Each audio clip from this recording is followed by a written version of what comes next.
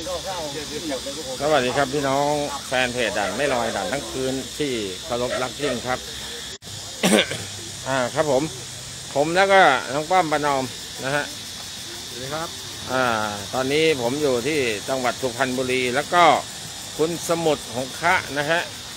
อ่า สมุทรอ่าสวัสดีพี่น้องก่อนสวัสดีครับสวัสดีครับโอเค พอดีผมมามี ผู้พันนะครับ สมควรอ่าซึ่งเป็นเพื่อนสมาชิกที่อ่าเป็นนายทหารเรือนะฮะเก่าพอดีท่านเกษียณอายุแล้วอ่าทีนี้มีเพื่อนบ้านที่อ่าทางผู้พันเนี่ยได้ใช้งานประจำก็คือคุณลุงเขาเป็นคนตัดไม้ รับจ้างตัดไม้ แต่ส่วนมากถ้าไปตัดแล้ว ไม้ก็ให้ฟรีให้เหมือนกับให้คนตัดไปอ่าจ้างก็จ้าง ไม้ก็ให้ใช่ไหมผู้พันนะ ใช่ เออ แล้วทีนี้ที่ผู้พันร้องเรียนไปหาผมเนี่ยเออมันเกี่ยวเกี่ยวเนื่องยังไงครับผู้พันครับ คือแกเล่าให้ฟังว่าแกไปศาลมาครับ ผมก็นึกว่าแกยังไม่เว้ยวันนี้คงไม่มาหินสายแกบอกว่าไปศาลมาผมเอาไปศาลเรื่องอะไรอ่า แกได้เล่าเหตุการณ์ให้ฟังวันเป็นอย่างนี้อย่างนี้อย่างนี้ ครับเราก็เฮ้ยมันไม่ยุติธรรมและไม่ถูกต้อง ครับเลยพอดีรู้จักคุณธนพัฒน์ครับเลยบอกคุณธนพัฒน์ก็มีประสบการณ์นี่เดี๋ยวลองปรึกษาเขาดู ครับ แกก็ยกมือไหว้ทั้งคู่ว่า แกไม่มีตังค์หาเช้ากินค่ครับำทีนี้ทางไอ้ตัวแทนประกันน่ะมาคุมคูแกครับ เอาลูกหลานมีเท่าไหร่ให้เอามาตินรับผิดชอบไปหมดอ่าให้ใช้หนี้อ่าแล้วแกเจ็ดสิบกว่าแล้วหากินยังจะไม่มีจะกินเลยอ๋อแล้วจะเอาเงินที่ไหนมาชดใช้พวกมันทั้งทั้งๆที่พวกมันผิด อ่าอ่าที่ผู้ที่ผู้พันร้องเรียนมายังเพจด่านไม่ลอยด่านทั้งพื้นของพวกเราเนี่ยก็คือว่าเนื่องจากว่าผู้พันเป็นสมาชิก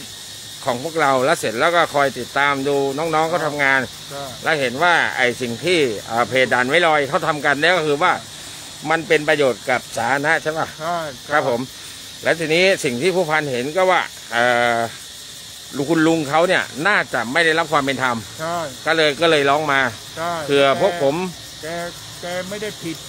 ตามที่แกพูดคือดูแล้วแกไม่ได้ผิดไอ้ครับรถที่ผิดจริง ๆ คือรถที่มาชนท้ายอีกคันหนึ่งไอ้อ่าก็คือว่ารถสองคันชนกันอ่าอ่าเดี๋ยวเดี๋ยวอย่างนี้ผู้พันเดี๋ยวผมขอสอบถามรายละเอียดจากคุณลุงนะครับอ่าแต่วันนี้ต้องขอขอบคุณผู้พันมากครับๆผู้พันสมควรครับคือท่านเป็นนายทหารเรือเก่านะฮะซึ่งเคยรับใช้เบื้องพระยุคลบาทอย่างใกล้ชิดมา แล้วพอเกษียณมาท่านก็มาใช้ชีวิตกับครอบครัวครับอ่าบ้านเสาตั้ง 42 ต้นอยู่2คนสองคุณตายยังใครว่างก็ยินดีใครใครผ่านมาทางสุพรรณก็สามารถที่จะกินฟรีอยู่ฟรีครับไม่ต้องไปเช่ารีสอร์ทได้เลยบอกมาเลยรับอีกกี่ชั่วโมงอ่าครับผมทีนี้อ่าโอเค เดี๋ยวผมจะขอสัมภาษณ์คุณลุงเอ่อคุณลุงชื่ออะไรเนี่ยเอ่อปรีชานะฮะ เอ่อมีชนะนะฮะคุณลุงครับผมสวัสดีครับ คุณลุงครับเออทีนี้คุณลุงอย่างนี้เอ่อเหตุการณ์วันนั้นมันเกิดขึ้นยังไงคือคือคุณลุงเนี่ยมีอาชีพตัดไม้ ตัดไม้ แล้วเสร็จแล้ววันนั้นน่ะที่รถสองคันเข้ามาชนกันเพราะอะไรคุณลุงพอรถผมเสียก็เอาสลิงอะดึง ข้ามเลนไปฝั่งเอ่อหมายถึงว่ารถเสียอยู่อยู่ข้างคลองหรือข้างทางใช่ไหมข้างทางแล้วเสร็จแล้วเราจะใช้สลิงนี่เพื่อที่จะดึงรถขึ้นมา รถจะแต่ทีนี้ว่าสลิงเนี่ยมันวางคือมันวางข้ามถนนอยู่ใช่ไหมถนนแล้วทีนี้เอ่อได้ดึงดึงขึ้นหรือยังคุณลุงดึงเสร็จแล้วจนหยุดแล้วอ่ารถนี่ก็หยุดแล้ว คือรถน่ะขึ้นมาแล้วใช่ไหมที่รถเราเสียนี่ขึ้นมาแล้ว ไม่ยังไม่ขึ้นถนนเลย ยังไม่ขึ้น ครับรถแต้นเนี่ยยังไม่ขึ้น ครับ ตอนนี้รถทางขวาเนี่ยมาเนี่ยผมนั่งอยู่บนรถแต้นเนี่ยก็อ่า โบกมือให้ก็โบกมือให้เขาหยุด ก็คือรถเราเสียบกครั้งหนึ่งเบรกแล้ว อีกครั้งหนึ่งก็จะหยุดแล้ว ตอนนี้มีอีกคันหนึ่งนะมาชนคู่กรณีนี่แหละมาชนอ่า ก็คือว่ารถคันที่ถูกชน คือคุณลุงโบกให้เขาหยุด เพราะว่ามันมีสลิงของคุณลุงนี่อยู่บนถนน ใช่ ก็คือพยายามส่งสัญญาณว่ามันมีสิ่งกีดขวางอยู่ ครับแล้วเสร็จแล้วเนี่ยรถรถที่ส้มรถเออรถสีส้มใช่ไหมครับรถสีส้มน่าจะเป็นเคอรี่ใช่ไหมเชอรี่แล้วเสร็จแล้วเนี่ยพอพอคุณลุงให้สัญญาณคนขับรถของเคอรี่แล้วรถเคอรี่หยุดแล้วใช่ไหมเบรกหนึ่งสองจะหยุด หยุดแล้วเพียงละล่อนิดนิดๆอันนู้นมาชนเลยคู่กรณีมาชนไปดูที่ภาพอายุยี่แปดชื่อตุ๊กเออ ไม่เป็นไรไม่ต้องเอ่ยชื่อเขาก็ได้นะฮะได้ไม่เป็นไรอ่าแล้วทีนี้ไอ้พอเขาชนแล้วเอ่อชนแล้วทีนี้เอ่อคู่กรณีสองคันที่เขาชนกันเนี่ยเขาเขาว่ายังไงคุณลุงก็มีเจ้าหน้าที่ตำรวจใช่ไหมร้อยเวรก็มาร้อยอ่าเวรที่ร้อยเวรหลังสร้างอ่าอยู่สพอะไรคุณลุงสพเมืองสุพรรณบุรีนี่ใช่ไหมใช่แล้วทีนี้เขาเอ่อมีควคือมีความเห็นทางคดียังไง เขามีว่าลุงเนี่ยมีความผิดรวมมีทางมีความผิดอะไรอะประมาทร่วม เออประเขามาทเขาบอกอย่างนี้เหรออะไรเออ แล้วทีนี้เออโดยที่ไม่มีสัญญาณให้อะไรสัญญาณพบยกมือแล้วทลีมันหยุดเบรกแล้วตอนนี้คู่กรณีพ่อก็จะถามว่าคู่กรณีนั้นมันมันมียูเทิร์นด้วยนะอ่าอ่ายูเทิร์นที่ข้ามด้วยนะตรงครับที่เราทำกันเนี้ยครับ เอ๊ะทำไมไม่ชะลอรถมั่งเลยหรืออ่าแล้วทีนี้เอ่อที่คุณลุง พอผมเห็นมันมีเอ่อบอกว่าให้ไปศาลแฝงใช่ไหมอันนี้เป็นหมายนัดศาลแฝงไม่นานแล้วเอ่อไม่รู้เห็นชัดหรือเปล่านะอ่าอืมเฮ้ยมันมัวมันมัวไปหมดถ้าถ้าดูอย่างนี้นะ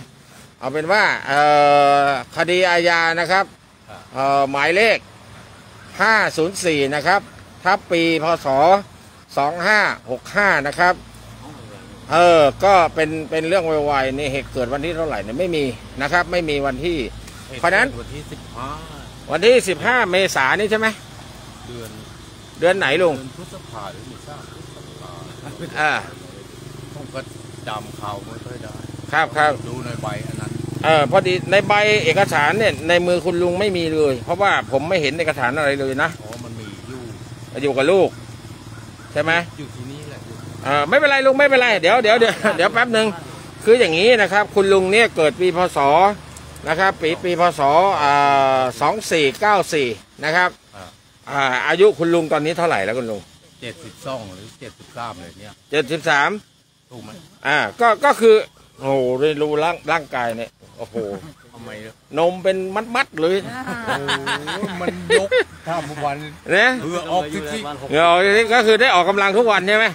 นั่นแหละโอ้ถือว่าเป็นคนเป็นคนแก่เจ็ดสิบกว่ายังมีเขาเรียกว่ามีซิทแพคที่มีซิปแพคเออนะกล้ามท้องยังเป็นมัดๆอยู่เลยเนี่ย เออจะทำงานทุกวัน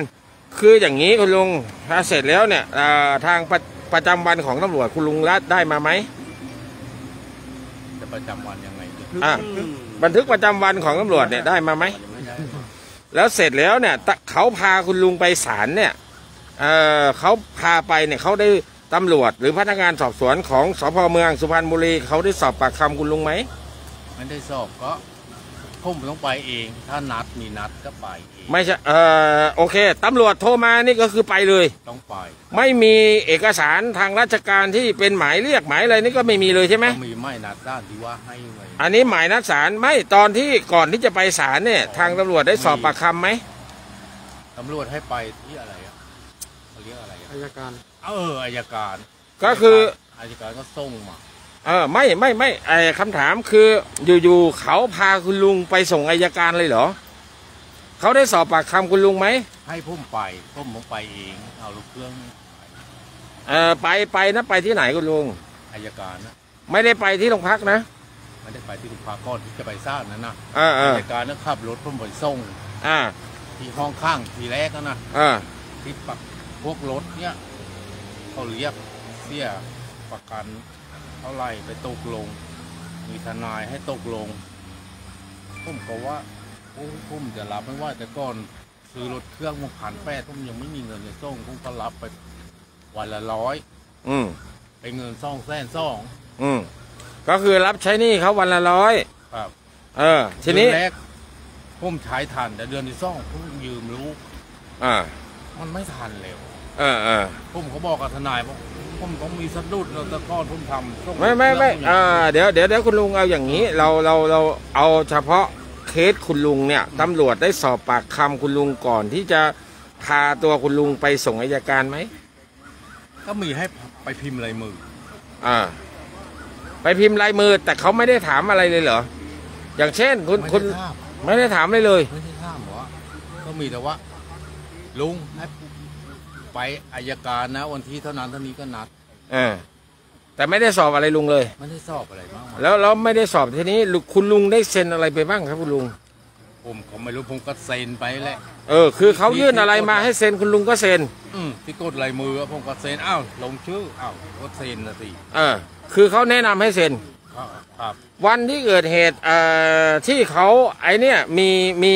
มีใครคุยกับลุงบ้างครับ จะบุตัวแทนหรือเด็กเคลมประกันที่คุยกับลุง มีประกันแล้วก็ร้อยเวรแล้วทีนี้ตามที่ผู้พันเขาร้องเรียนมาเนี่ยเขาบอกว่าคุณลุงถูกใครขู่ว่า ถ้าไม่ไปจะติดคุกติดอะไรเงี้ยใครเป็นคนขู่ครับ ก็ทางคู่กรณีไงคู่กรณีอ่าคือรถประกันของรถใช่ไหมถ้าไม่ใช่ประกันของรถคือคู่กรณีคือที่ผู้เจ็บผู้ป่วย อ่าก็คืออ่ารถคันที่ชนท้ายเขา ใช่ไหม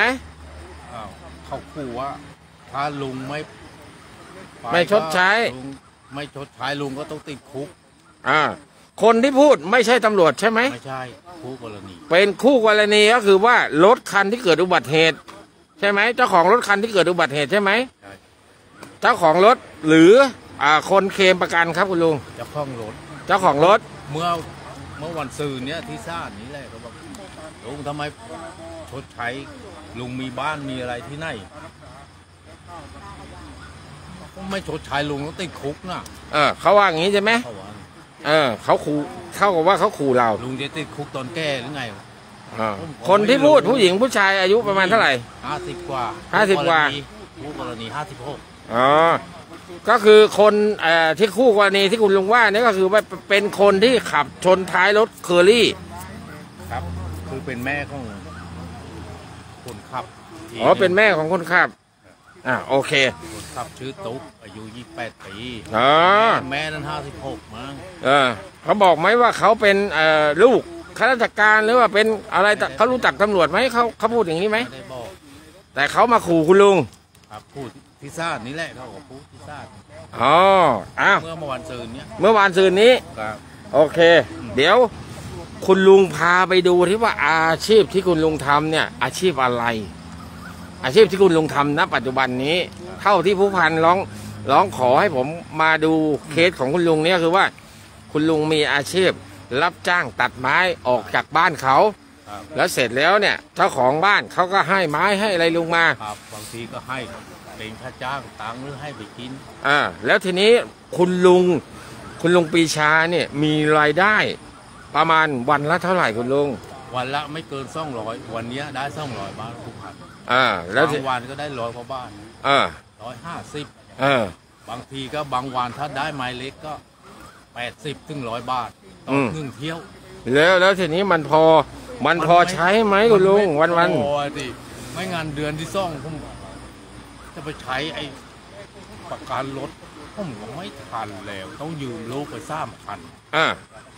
คุณลุงมีลูกกี่คนครับสามคน สามคน ครับแล้วแล้วลูกลูกตอนนี้อยู่ที่ไหนบ้างอะครับคุณลุง ที่นี่คนหนึ่งคนโตแล้วก็อ่า ที่บางกระหม้อคนหนึ่งอ่าเขามีครอบครัวกันไปหมดแล้ว ครับ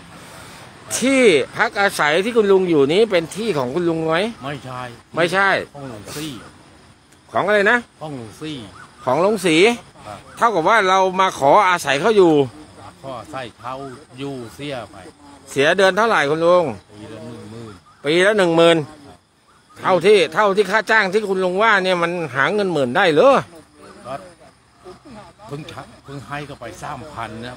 ปีกว่าเนี่ยยังไม่พอให้ ที่เขาบอกว่าให้คุณลุงชดใช้เนี่ยเขาเรียกร้องให้คุณลุงชดใช้เท่าไหร่ครับ เป็นยอดเงินเท่าไหร่หกแสนส่วนลูกสาวแสนสองอ่า มันจะมีใบไอ้นั้นอยู่เลยนะอ่าอ่าอ้าวเดี๋ยวคุณลุงพาไปดูที่ว่า คุณลุงที่ที่ เอาผมชื่นชมแล้วกันว่าร่างกายคุณลุงแข็งแรง เพราะคุณลุงมีคือจริงๆด้วยความยากจนก็คือทำงานหนักใช่ไหมตัดไม้แล้วก็ต้องแบกขึ้นรถใช่ไหมครับอะพาไปดูหน่อยเดี๋ยวทางป้อมประนอมส่งส่องไฟให้คุณลุงหน่อยไปดูว่ารายได้ของคุณลุงอ่าจริง ๆ ก็รับจ้างตัดไม้ บางวันก็สองร้อยนะฮะบางวันก็อ่าก็ได้สามร้อยบางวันก็ไม่ถึงร้อยนะครับ แต่สิ่งที่คุณลุงได้มาก็คือไม้เอ่อ ที่ที่เจ้าของบ้านบ้านเขาให้ใช่ไหมของมันเออเจ้าของบ้านเขาให้ ทีนี้ไอ้ที่อ่าคุณลุงเอามานี่เอาไปขายต่อใช่ไหมคุณลุงหรือว่าคุณลุงเอามาทำอะไร เอาไปค่ายเป็นค่าแรง เอาไปขายเป็นค่าแรงครับเอ่อถ้าเต็มคันรถของลุงนี่รถอีแท็กของคุณลุงเนี่ยได้ได้เงินประมาณเท่าไหร่คุณลุงเนี่ยตันครึ่งก็ประมาณพันซ่อตันค่าค่าน้ำมันรถนี่สามร้อยเออค่าเครื่องตัดอีกสองร้อย เอปอระมาณห้าร้อยต่อหนึ่งเที่ยว ห้าร้อยต่อหนึ่งเที่ยวครับ ที่เหลือน่ะนะ ครับ ที่เหลือเออ ก็คิดเป็นค่าแรงเจ็ดร้อยอ่าเจ็ดร้อยมีกี่คนล่ะสี่หรือสามหรือห้าอ่าห้านกันไปห่างกันไป ห้านกันไปคือไปนี่คุณลุงไม่ได้ไปตัดเองไปตัดคนเดียวใช่ไหมไปมีมีลูกมือด้วยใช่ไหมมีลูกๆแล้วล่านไป เดี๋ยวคุณลุงดูหน้ารถคุณลุงยังมันมันรุ่นไหนนี่คุณลุง โอ้โหรุ่นสมบัติเมธานีแล้วสะพานก็ ขึ้นไม่ไหวขึ้นสะพานก็ขึ้นไม่ไหว จ้าขอบคุต้อณงไปหลังแล้วก็โอ้โห เนี่ยป้อม เฮ้ยรถรุ่นนี้น่าสนใจว่ะป้อม เอาไปเลย ไม่หวงด้วยเอาไปเลยว่างั้น โอ้โห สติกเกอร์ของคุณลุงเขาอ่านหน่อยดิป้อมอ่านหน่อยดิใจมันรักใจมันรัก แล้วล่านลูกโอ้แปะไว้ โห สุดยอดเลยรถรุ่นนี้ ประตู อะโอเค เดี๋ยวถ้าไง เดี๋ยวผมจะลองตามเรื่องให้เนาะคุณลุงเนาะครับแต่คุณลุงเนี่ยเอ่อที่มันผิดสังเกตก็คือว่า อืม เมื่อพนักงานสอบสวนเขาไม่ได้สอบปากคำทำไมคุณลุงถูกฟ้องได้อะเนาะแต่การเซ็นเอกสารเนี่ยผมก็ยังยังต้องปะอ่าคุณลุงนี่เซ็นเพราะไม่รู้ใช่ไหมคือเขาให้เซ็นอะไรมาก็เซ็นไได้อ่อย่างผู้ผ่านมาไม่ได้อ่านอะไรเลย ไม่ได้อ่านว่าอ้าวให้เซ็นก็เซ็นแล้วเหรอผมเซ็นตรงนี้ อ้าวอืม ชื่อนามสกุลอืมก็เซ็นไปก็เซ็นไป เอ๊ะแล้วก็ลุงต้องไปที่อ่าอะไรนะอืมอะไรเมื่อกี้อายกาอารยการ นั่นมันจะมีร่างเล็กๆอยู่เนื้อซ่านน้อย อืม กิโลแปดนะเออ ก็ไปไปเข้าไป อายการก็สั่งวันแรกจับพุ่มใส่กุญแจมือใส่กุญแจที่จะไปขึ้นบัลลังก์ห้าเอออืมที่ศาลน่ะนะที่สร้างเราว่า ไอ้ยไอ้โหอะไรขนาดนี้จะรู้นะเราคือใส่มีมีใส่เครื่องพันธนาการมีตอนที่จะออกไปขึ้นขึ้นศาลขึ้นขึ้นศาลใช่ไหมขึ้ขึ้นนศาลแนว อะไรบัลลังก์ห้าเออ จริง ๆ ถ้าขึ้นศาลเขาต้องใส่ครับเอองั้นเออมันเขาต้องใส่ไม่ได้ว่าอะไรไม่ได้ว่าอะไรเพราะว่าอาจจะเป็นเราไม่รู้กครัติบกาเขานะอ่าแต่แต่เริ่มต้นเนี่ยคือตั้งแต่คุณลุงถูกกล่าวหาเนี่ยคุณลุงไม่ได้สอบปากคำเพ ราะว่าคุณอ่าพนักพนักงานสอบสวนไม่ได้สอบปากคำคุณลุงเลยใช่ไหมไม่ได้ชอบอะไรมากมายเออ คือพอยื่นมาก็เขาให้เซ็นก็เซ็นใช่ไหมเป็นเออเซ็นเพราะเพราะเพราะว่าเราไม่รู้หรือว่าเราไม่เข้าใจคุณลุงก็เอาเซ็นคือไม่พอมาจบเรื่องเอาเซ็นแล้วก็ไปพิมพ์ลายมือพิมพ์ลายมือเสร็จวันที่สิบลุงต้องไปที่อายการนะเออลุงก็ขับรถเครื่องไป เออ ขับรถคันเก่าที่ไม่มีความอายการก็ส่งผมไปที่ศาลขับเออรถปิกอัพ เออเอ๊ะทำไมมันดีอย่างนี้ ผมก็นั่งในรถ เออ เอ๊ะมีรถใหม่ขี่นี่มันผู้ลายหรือผู้ผู้ดีเนี่ยผมยังงงว่ะเออ อะเอ้าไปก็ต้องไป เออ ผมก็เอาไว้ที่อายการนั่นแหละรถเครื่องอ่า นั่นแหละก็ไปข้างอยู่รวมกันสี่ห้าคน เออ ก็ไม่ได้เนะตีใจอะไรหิ้วข้าวก็หิ้วเดี๋ยวพอไปถึงนู้นแล้วมันเป็นยังไงมันทำไมหิ้ว อ่าผมต้องกินน้ำไอ้ไอ้ที่ล้างหน้าเนี่ยเออเพราะผมเคยโดนที่กรุงเทพมาแล้วมันจะไปกินที่ไหนดึกดื่นคืนคืนใช่ปะเออขังลุงไว้กี่วัน ไม่ไม่กี่วันแล้วแค่พักใหญ่ๆอะไรอืมแล้วลุงลุงเขาปล่อยตัวออกมาเนี่ยก่อนที่จะไปขึ้นบัลลังก์อ๋อแล้วแล้วทีนี้อ่าลุงที่ถูกปล่อยตัวนี่ลุงมีวางเงินประกันไหมคุณลุงเขาเรียกเงินประกันไหมไม่มีเขาให้สาบานตนใช่ไหมครับก็คือไม่ต้องไม่ต้องวางเงินประกันก็ให้สบานตก อ๋อต้องมาสร้างตามนัดเออแล้วก็อะไรอืมเออมาสร้างตามนัดมาอายการมาศาลไปเจ้าพ่อหลักเมืองเออสิ่งศักดิ์สิทธิ์เออเจ้าพ่อหลักเมืองแล้วก็อะไรอีกล่ะหลวงพ่อวัดป้าเออให้สบานตัวอย่างนั้นเออบัลลังก์ห้านะครับเออลุงก็เอาสาบานก็สาบานก็สบานก็ว่าตามไปนั้นแหละอ่าก็คือเราจะพูดแต่ความจริงเท่านั้นครับ อ่าผมแล้วแล้วไม่ทีนี้ซ่านเขาบอกเออเขาบอกว่าห้ามหนี่ซ่านนะ ไม่หนี่ซ่านนะครับผมไม่หนี่ซ่านหรอกสท่านเรียกวันที่เท่าไหร่ก็มาอ่าแก่ปานนั้นจะหนีไปไหนแล้วแต่ครับอันนี้ก็อายุเจ็ดสิบแล้วจะหนีไปไหนแล้วพ่อใช่ไหมรอดแล้วไปไม่รอดแล้วเจ็ดสิบกว่าป้าก็เจ็ดสิบกว่าเออจ็ดสิบทีนี้เอ่อคุณลุงสงสัยอะไรไหมกับเอ่อขบวนการเอ่อของตำรวจที่ผ่านมาอืมสงสัยอยู่อยังว่า เอ๊ะผู้กรณีทำไมไม่สอบ ไม่มีใบขับขี่หรือเปล่า ขนาดที่ยูเทิร์นข้ามเนี่ยผมว่ารถที่จะข้ามยูเทิร์นมันมีอืมมันมียูเทิร์นข้ามเนี่ยทำไมไม่ลดความเร็วกัน ครับ นี่น่ะขนาดคณะเบรกจึ๊กยืดต้องหยุดแล้ว เออ เริ่มหยุดแล้วเออนี่ชนตุ้มเอเสีอไปซ้ายเลยเกือบล่นถนน เออ ลุง มีความผิด ลุงเป็นต้นสาเหตุที่มีความผิดเออนี่ผมก็ครับผมก็ต้องยอมรับ เออเพราะสลิงลุงใช่ไหมเข้ากล่าวหาว่าสลสลิง อืมแต่ลุงไม่มีอะไรสัญญาณติดตั้งผมโบกอยู่ชายถนนเนี่ยมันมีรูปถ่ายอยู่อะอืมอืมอืมชายถนนยังไม่ขึ้นถนนก็ให้สัญญาณแล้วก็คือโบกให้รถข้างหน้า รู้แล้วคณะรู้ เออ แต่คันหลังเนี่ยคุณมาเร็วหรือเปล่าที่มาชนท้ายรถที่เราโบกให้หยุดแล้ว คือผมจะพูก ข้อไว้สำหรับรถผมไม่มีแรงเนี่ยครับ ให้มันดึงคาดคือเป็นสลิงเล็กอีกอืมชั้นหนึ่งอืมแล้วตอนนี้มันมีปิกอัพตอนที่เราว่างที่เราชุลมุนกันอยู่เนี่ยอืมมันมีปิกอัพตัดไปเลยอืมสลิงนั้นคาดไปเลยมันเลยไปก่อนที่รถเชอรี่จะนั่นอะ ที่เบรกอืมอืมช่วงนี้ผมก็ไม่รู้ว่ามันตัดตอนไหนมันครับมากันแบบเลนกว่าไรคันใช่ปะอืมอืมมันตัดตอนไหนแต่ผมทำไว้ ประมาณซอกเนี้ยอืมอืตัวมสลิงอ่อนเพื่อให้คาดได้ เพราะว่ารถพุ่มแรงไม่ดีเกิด มีปัญหากระตุกหรืออะไรก็จะได้คาดไปเลยอืมอืมอืม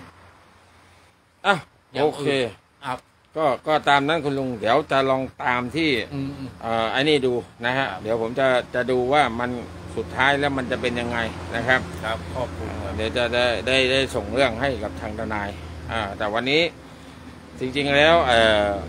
ไม่มีเบอร์พนักงานสอบสวนคนที่เป็นเจ้าของสำนวนใช่ไหมครับเอ่อเดี๋ยวมังั้นก็ต้องมันชื่อร้อยร้อยเอกหลังสั้นร้อยเอกรังสรรค์ครับหลังสั้นอ๋อโอเค เป็นพนักงานสอบสวนวันนั้นใช่ไหม